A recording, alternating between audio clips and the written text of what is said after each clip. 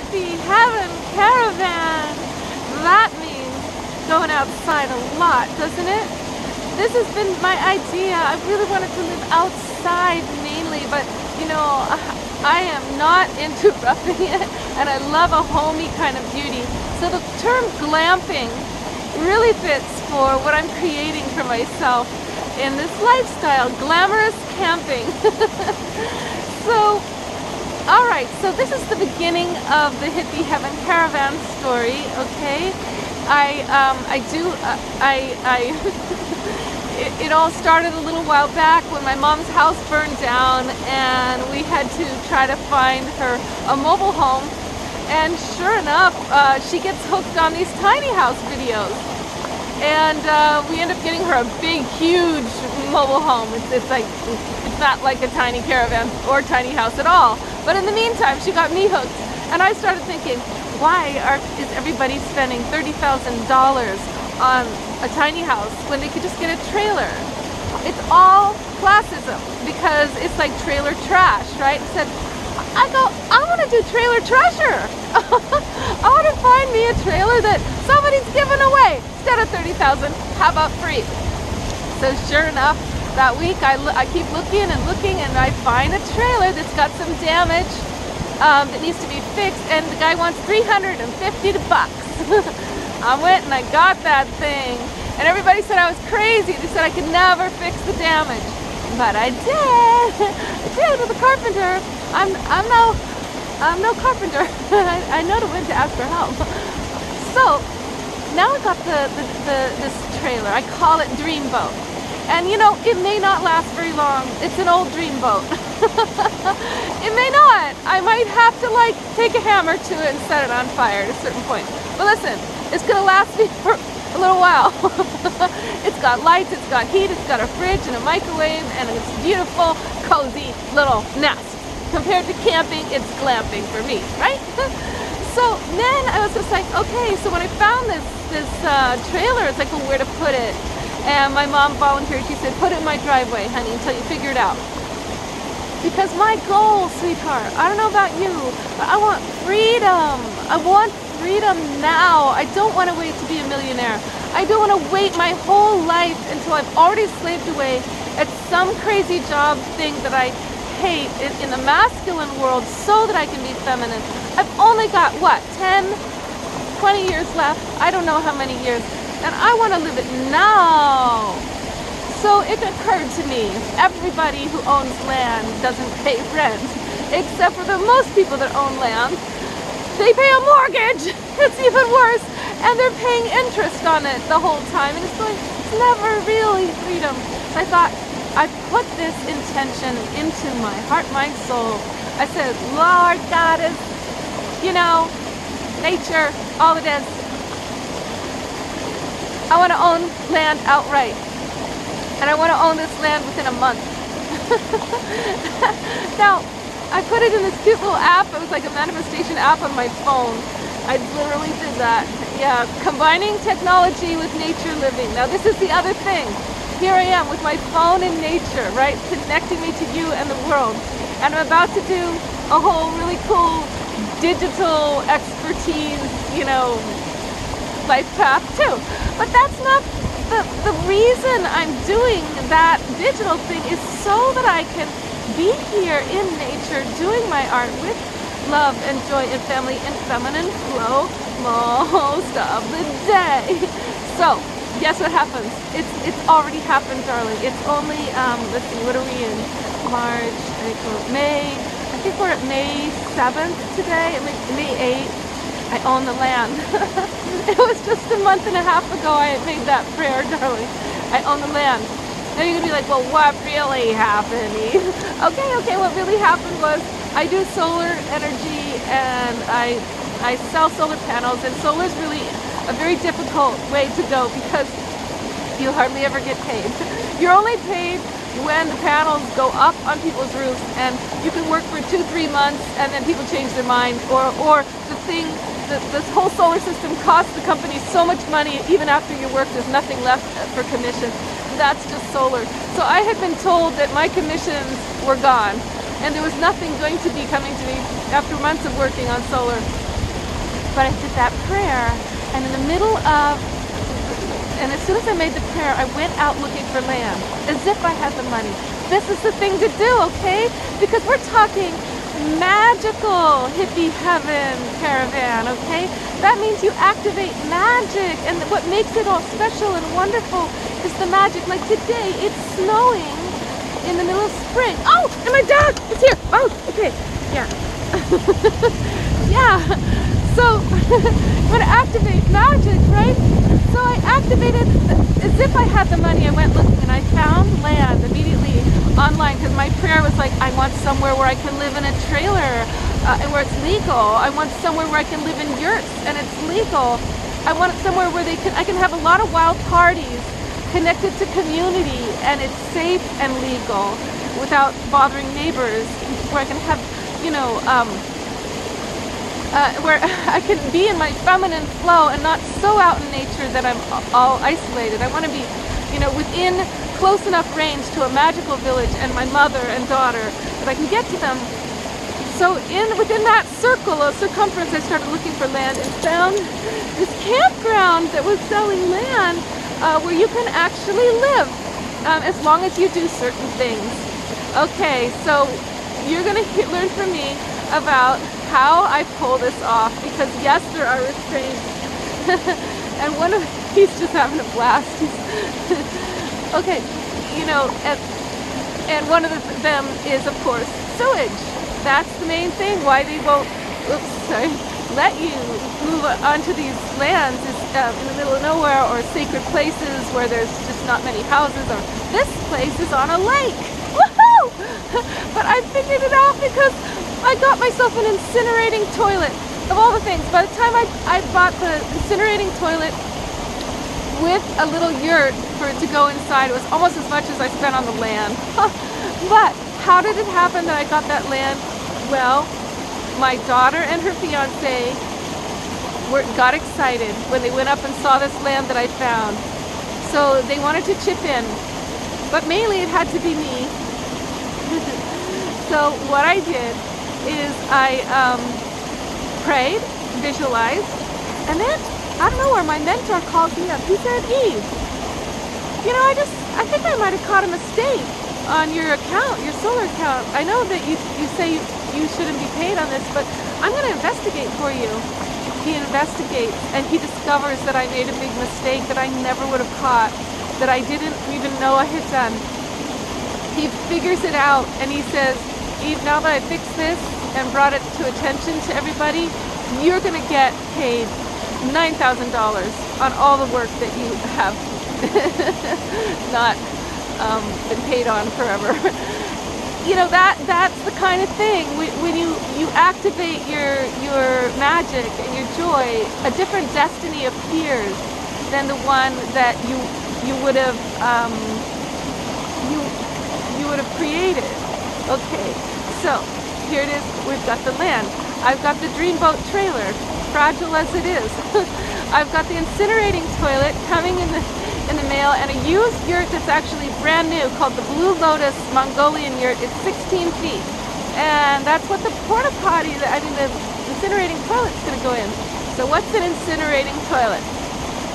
Well, it's not eco-friendly. I'm sorry, I really want to do composting toilet, but it's not legal at this place. I can't go doing my compost, which would be the best thing for the earth. But for now, this is what I'm going to do. The incinerating toilet uses propane and it actually turns your poo to ash and your pee to steam and if you get a um, catalytic converter it cleans the air and there's no smell and um, you can actually I can use it for some of the if I do dishes in a very light way I can actually use it for my gray water of my dishes and for bathing well there's a lot of rivers and streams around here and there's a lake up there and I got friends and family to go to visit as well. So it's bringing me more into community and I'm a little scared. I'm a little scared but at this moment what I really really need is community. I don't want to be there all alone and that's what I'm really moved by is community is coming out of the woodwork who wants to join me up there So the first challenge I have is that I've manifested actually three trailers. One trailer came with the land for free. and then I've got Dreamboat, the one I'm in, and then a third one that a girlfriend's got she could bring up there. And then I need a fourth one for another girlfriend. So basically, the big challenge right now is how to fit them all in a beautiful way to create a little village, a little caravan village uh, that has yurts so that each trailer, is my idea, is each trailer will have its own yurt to have its, its expanded space where you can do yoga and you can do your art. There he is. okay, your dog can run free. oh. And, uh, and then, so what I'm envisioning is this big, huge yurt that's our community space. So the big yurt, the idea is that's where we have a kitchen that's communal. That's where we have party space to dance and hang out and play music and have living room. But we got to keep it really sparse, really beautiful, and really open. So it's just not about that whole thing about, oh, it's my stuff that makes me so mature. No, this is like spiritual lightness. Caravan living means you can move your body, you can take down a yurt in a day, you can move your little tiny house trailer, it's on wheels. You can, uh, but mainly you can move your body. In caravan living, it's sexy and it's feminine, and so it's not all blocked in with possessions and furniture everywhere and, um, you know, prestige items that take away the actual experience of being an artist. So it also, in the caravan life, our studios are, are smaller yurts next to our trailers are where we can do art is part of the idea, where you can actually keep that paint out all the time. It can be messy. You don't have to worry about taking over communal space that people need for cooking and dancing and, um, you know. So we're going to make a beautiful communal kitchen. And the idea is we're going to cook for each other so that each of us takes a night to cook or we cook together every day, once a day, and uh, do a potluck for the neighborhood camp facility and friends and we do a dinner club where we rove from house to house in the neighborhood once a week. It's a new family who's in the club who gives the, the, the dinner club. So this is going to be fun for you to see if I pull this off right? That's the big vision you're receiving. All I have right now I got the land woo with my daughter and her fiance and two girlfriends coming to join me. And I'm thinking like, well, what do we do about the fact that one of these women is my age and she really should be a co-owner? Am, am I going to do reparations eventually and give her part of my portion? Or am I going to buy the land next door so that she can really feel rooted? Reparations means, you know, like I got this money because I got into solar and solar was really a male-dominated field when I was getting in there, and I couldn't get hardly any help from anybody except for this Latin guy who went to bat for me, Ray Rosa. and because of him, I was able to become a consultant in solar and then do my own company eventually because of him. But I know for some of my girlfriends, my Latin girlfriends, my African American girlfriends, they wouldn't have been able to do what I did because it was hard enough as a woman for me, as a white girl woman. I had to fight like crazy to get that help. And it was only because of his help that I actually got through that glass ceiling. So that's part of what else I'm doing is this, this land is it's like Mohawk territory.